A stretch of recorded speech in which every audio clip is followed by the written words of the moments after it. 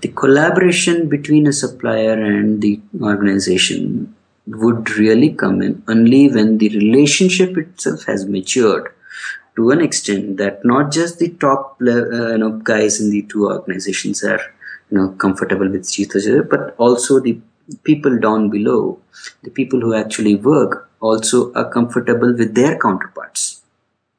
Right. So the person at uh, you know the who is an operations manager in both uh, in this organization is uh, uh, has a channel of communication with the operations manager in the other organization. They are able to exchange and collaborate.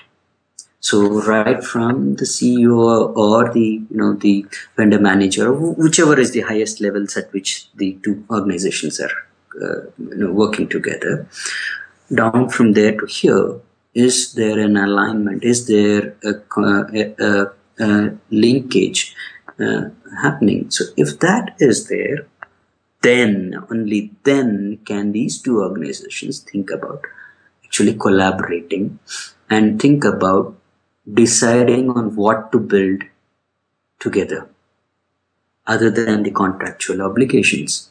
At which point we are looking at the scenarios where the relationship has matured to such an extent that the company is asking the supplier, Can you help me in innovating? And which obviously means that collaboration is required there. So do I need collaboration uh, with uh, to stay competitive? Yes, of course I do need it because that's how I would be able to innovate.